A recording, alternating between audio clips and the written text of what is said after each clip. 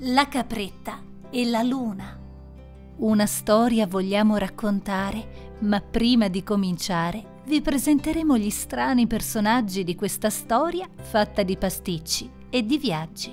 C'era una volta una capretta a cui non bastava brucare l'erbetta. Ogni notte si arrampicava su un melo per studiare le stelle del cielo.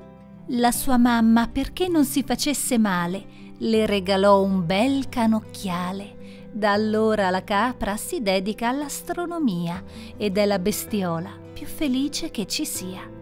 Nel prato vicino vive una giraffa che da piccola ha bevuto dalla caraffa della fata generosità e da quel giorno è colma di bontà. È un animale tanto gentile che ha aiutato anche il leone più ostile. Infine, questa storia parla della luna, quella tonda pigrona e della sua sfortuna.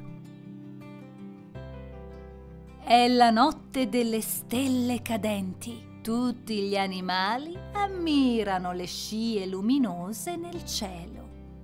Oh no! Che disastro! La luna è precipitata sulla terra. La luna disperata chiama a gran voce la capretta. Aiuto! Aiuto! dice la luna.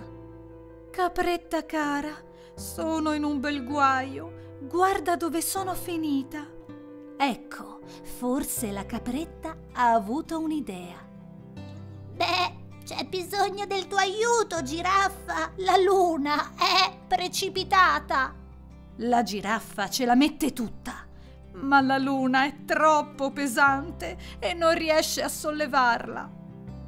Ecco un'altra idea. Si potrebbe lanciarla con una fionda. Ci siamo quasi. I due animali sistemano l'elastico tra due baobab ed ecco che la gigantesca fionda è pronta. Pronti al lancio! Missione compiuta! La luna finalmente è tornata al suo posto. Tutto è bene quel che finisce bene, grazie all'aiuto della capretta e della giraffa.